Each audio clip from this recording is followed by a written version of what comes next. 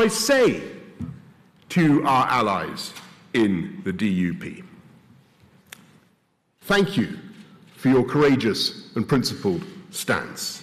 And I hope you agree that it is absolutely vital that we keep this partnership going and we keep this confidence and supply arrangement going, and that we are not so complacent as to abandon the government of this country to a man whose avowed policy is to break up this country.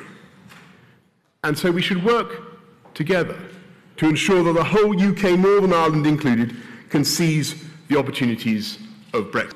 Uh, uh, we, are, we, are on, we are on the verge, we are on the verge of making, we're on the verge of making a historic mistake. And I just say this, unless we change course, we are going to stay in the customs union, we're going to stay in the single market, we're going to be rules takers. And unless we junk this backstop, we are going to find that Brussels has got us exactly where they want us. A satellite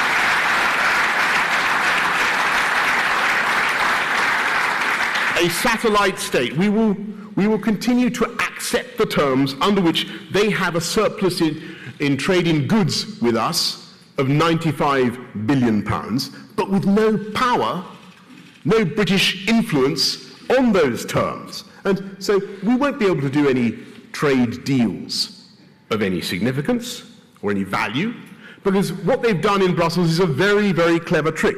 They've made Northern Ireland their indispensable bargaining chip in the future negotiations. And if you read, have you, have you who's read the withdrawal agreement? I have, unlike certain Labour leaders I can mention.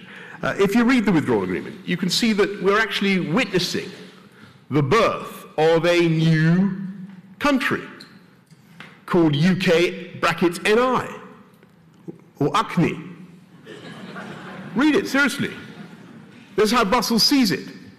UKNI is no longer exclusively ruled by London or Stormont. UKNI is in large part to be ruled by Brussels, and UKNI will have to accept large swathes of UK, uh, of, of, EU regulations. I wish I was going to accept UK regulations. EU regulations now and in the future.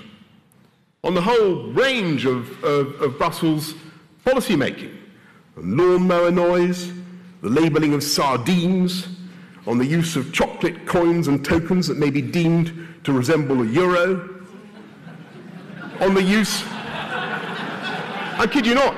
Check it out. On the use of personal recreational watercraft.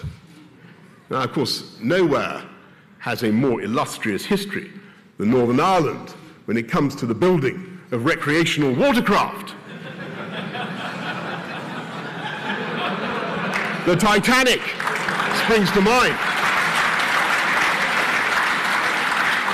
And now is the time to point out the iceberg ahead.